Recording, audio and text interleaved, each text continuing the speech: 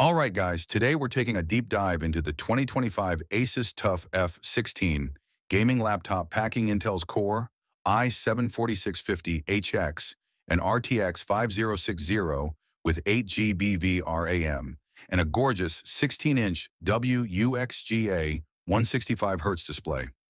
The TUF series has always been about delivering solid performance without breaking the bank, but has Asus finally nailed the perfect mid-range gaming and productivity machine for 2025?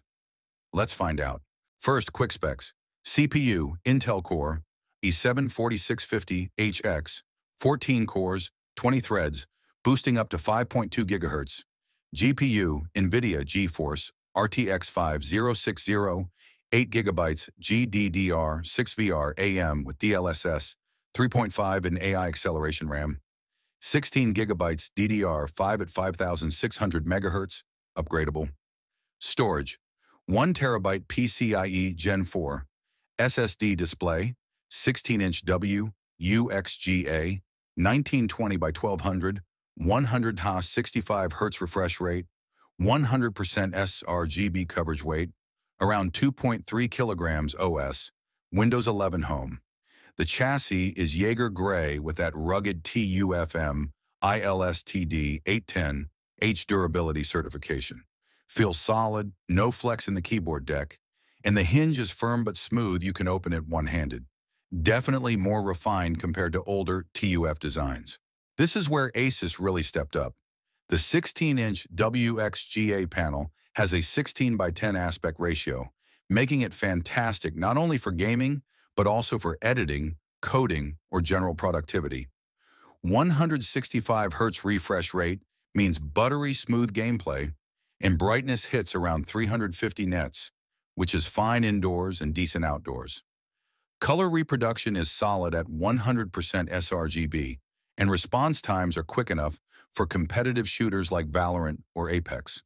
On the left side, you've got 2x USB-C, one with Thunderbolt 4, one with DP 1.4 plus charging, HDMI 2.12, X USB-A 3.2, Gen 1 RJ45 Ethernet port, headphone mic combo jack. On the right, just one USB-A, so most of your main connections stay out of the way if you're right-handed. Wi-Fi 6E and Bluetooth 5.3 are standard here. This is where the TUF-F16 flexes. That is 714650H paired with the RTX 5060 is a killer combo for 1080p and 1440p gaming.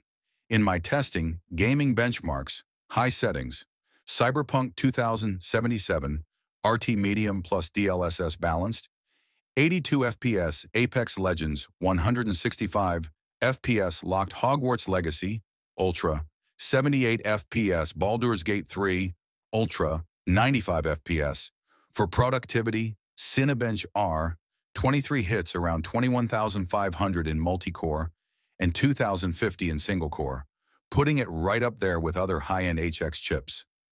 Blender renders are noticeably faster than older i7 models, and AI-assisted workflows in apps like Adobe Premiere run smoothly thanks to NVIDIA's Tensor cores. Cooling has improved. Asus uses a dual fan system with 84-blade ArcFlow fans, liquid metal on the CPU, and multiple exhaust vents. Under load, the CPU hovers around 85 degrees Celsius and the GPU around 78 degrees Celsius. The fans get audible in turbo mode, but nothing crazy for a gaming laptop and performance stays consistent even after long sessions. 90 watt hour battery here. In light use browsing, streaming, note-taking, you'll get 6 to 7 hours. In gaming, expect around 1.5 to 2 hours on battery, so keep the charger handy if you're going mobile. USB-C charging works, but the full 200 watt brick is still faster. The keyboard feels nice, 1.7 millimeter travel, tactile keys, and per-key RGB lighting. The 1610 layout gives extra space for the arrow keys and number pad. The trackpad is smooth and accurate, with Windows precision drivers. Speakers are front-facing, tuned with Dolby Atmos, they're fine for casual use, but you'll want headphones for immersive gaming. The Asus TUF F16 Gaming 2025 is a rock-solid choice for gamers and creators who want serious performance without the premium ROG price tag. You're getting a 165 Hz 16-inch display, RTX 5060 power, and an HX Series i7 in a durable, well-built chassis, all for a competitive, mid-range price.